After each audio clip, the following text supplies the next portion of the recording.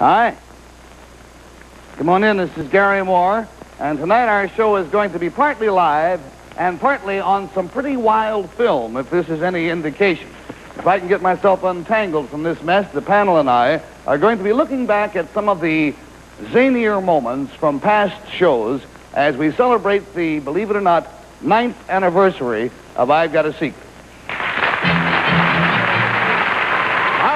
A secret brought to you tonight by Miss Clairol. Hair color so natural, only your hairdresser knows for sure. And by Bristol Myers, makers of Bufferin, the modern drug for relief from headache pain. Now, here is America's number one panel show, I've Got a Secret, with Bill Cullen, Betsy Palmer, Bess Myerson, Henry Morgan. And here he is, Garry Moore. Friends. Thank you. Hi, Bill. Hello, Betsy. Hello, Betsy. Hello, Henry. Hello, hello. Isn't this the way to do a show, though? Happy anniversary. No, it's a happy anniversary to us all. Who would have ever thought it was going to happen? um, you, my friends out there, have no doubt noticed that we're not using our usual scenery tonight because our producers decided that after all of these years of knocking ourselves out every week, uh, we could afford to take a breather and look back at some of the highlights from some of our past shows. Now, most of the film that we're about to look at will be scenes that the panel themselves have asked to see again. Things that happened on the air that the panel remembered as being especially amusing or unusual.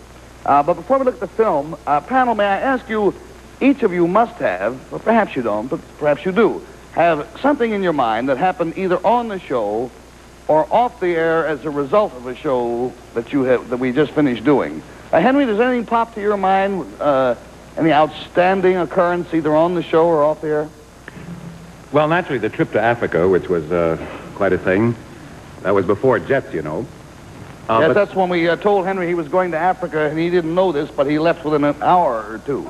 Yeah, and uh, unfortunately, uh, Garry, I suppose you'd find out one way or another, but since then, I really haven't been paying much attention.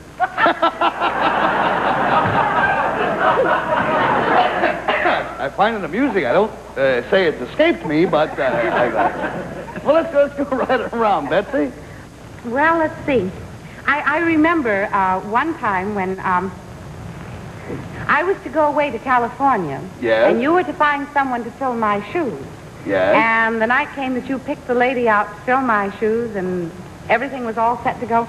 And I said to you, I don't have to go to California. And you didn't know. We surprised you that night, I remember. That's right. We had the whole spot predicated on the fact she was going to go to California to make a picture. It was, and you didn't go. And I didn't at that time. Yeah, you're a think. I was. But you were awful cute the way you reacted. Beth, what is your treasured memory, if that's the word, or your most outstanding memory?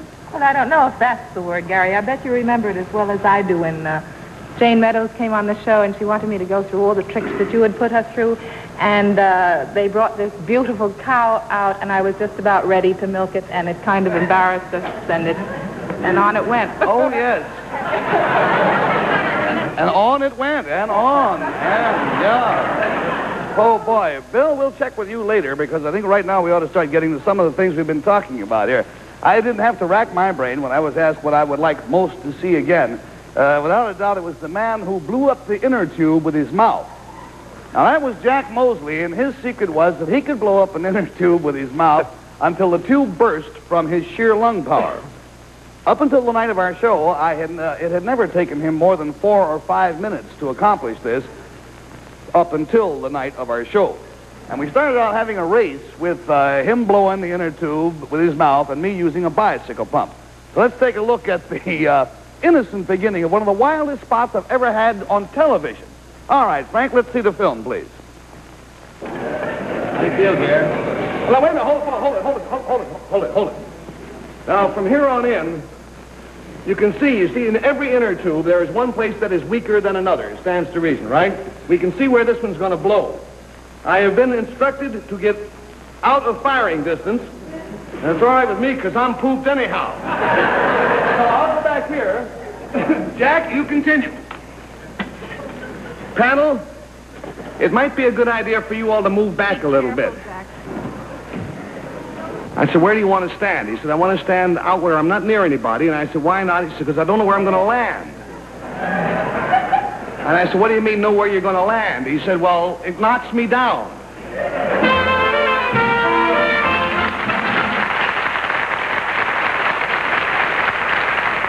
You remember that, don't you?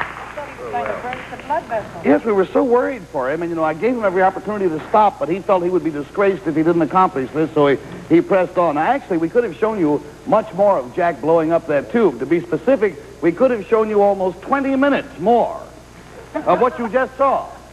Because from that point on, nothing else happened on the show for the whole half hour. Right up until about a minute before we went off the air, it was just Jack blowing and working on that inner tube. And, and in order not to waste all of that footage, we edited some uh, some of it uh, into the films that will be coming up later in the show. You'll see them some more later. Now, uh, Betsy, in requisitioning the uh, film that you wanted to see most, uh, you concentrated on a particular area of uh, our show, didn't you? Well, actually, um, it, was um, a thing that's so nice about this show is that it kind of prepares us for hereafter. I mean, if, if I've got a secret just doesn't happen to go on anymore, you've been very educational.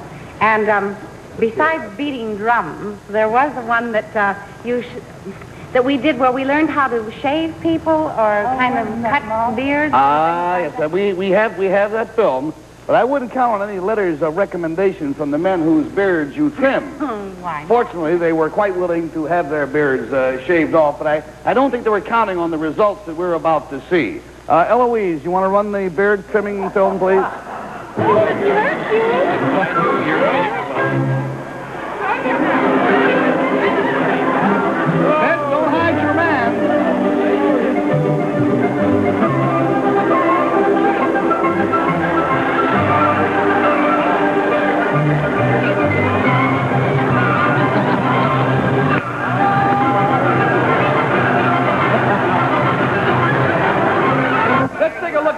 We go along. This is what uh, Betsy was able to accomplish. And here we see what Henry was able to accomplish.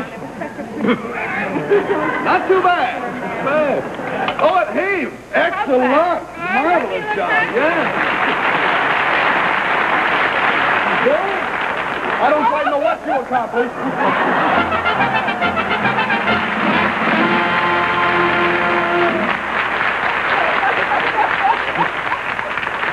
Bill, I've been looking at a still shot of this picture, and I must say, even at this late date, I still do not know what you accomplished for this. yes, he's going to say he looks like he'd been attacked by moths. Well, Garry, you're right, and I checked. I was worried about it and checked into it, and I found out, like, not until six weeks later, this guy was D.C. He had an AC razor, and you know the man was DC. Not worth it, Garry. Well, the situation isn't, isn't too hopeless, Bill. Even if you never did do get any work as a barber. Uh, our next piece of film that Betsy requested uh, might bring you some other offers. If you don't mind working in the window of a restaurant, this is the night that you tried your hand at tossing pizza pies. You remember that? All right, uh, Mrs. R, will you roll the film, please?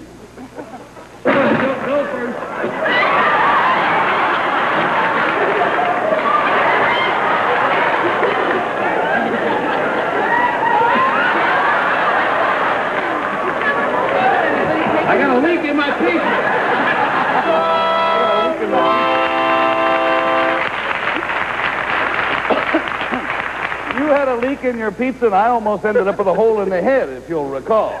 Do you, do you remember anybody how that spot ended up?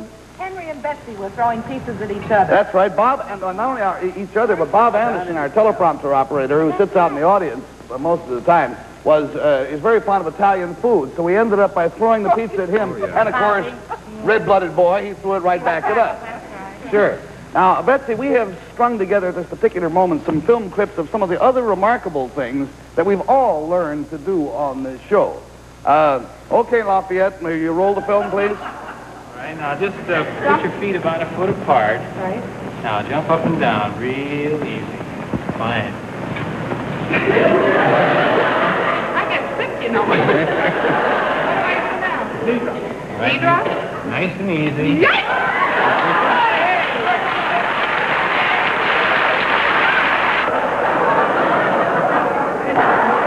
Yes, indeed they are. Yeah.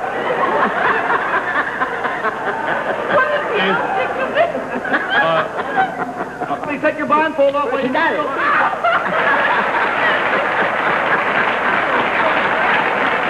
Bravo, Henry. Bravo. And honestly, he told me, he says, I don't know whether I'm going to land on the right side of the stage. I don't know whether I'm going to land on my face or on my back. Sometimes it doesn't knock him down at all, but, uh, and we hope it won't tonight. Good, she's skied before.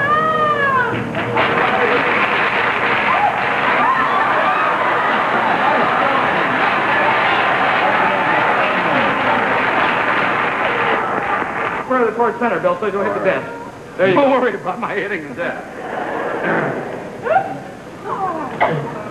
You going to demonstrate again, or do I just have to Let's do do it? it.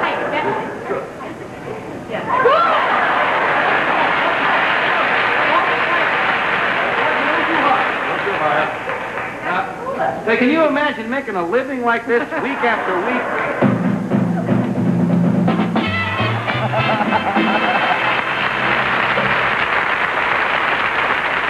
Bill, are you any better at this hula hoop stuff now than you were then? Well, I don't like to brag, but I can say I can do it every bit as well now as I... I just happen to have one here. Let's see if you've. Let's see if you've. Take one step to the left there and uh, give us the hula hoop again.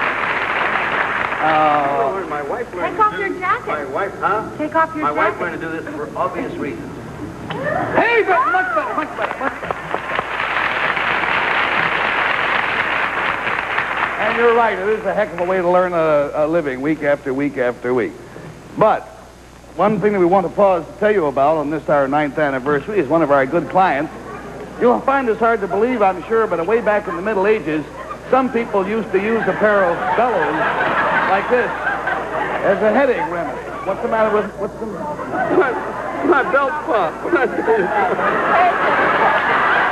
Your belt was undone all that time? Oh, it's off. Well, that might have been almost better than the cow.